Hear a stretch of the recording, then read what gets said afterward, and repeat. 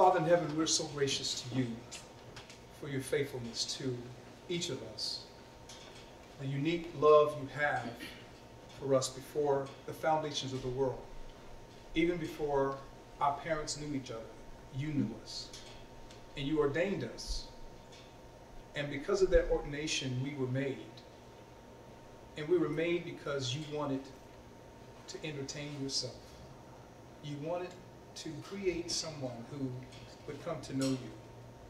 And as we come here and gather together, we just reflect on that. That you love us with perfect love. No performance necessary, just perfect love. May we yield ourselves to grab a hold of that for our lives. Grab a hold of that for our communities. Grab a hold of that for America.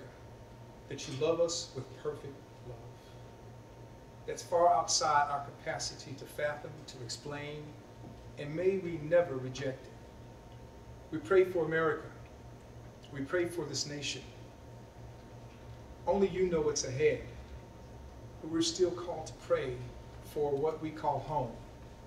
This is our home. We drive the highways.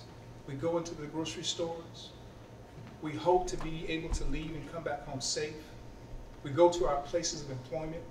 We've created friendships with coworkers. We've created friendships with strangers that we met.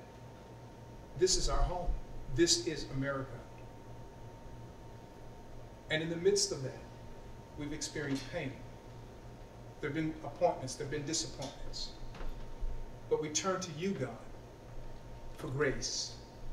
Show us a new grace in order to endure to a new place that you've called us to.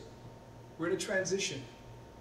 It's a good thing if we look to you for grace, for peace, for hope, for love, for unity. It's in Christ's name I pray. Amen. Amen. Remain standing. I'm going to ask my brother if he would lead us in the pledge of allegiance. And there's the flag right behind. We put our right hands over our hearts.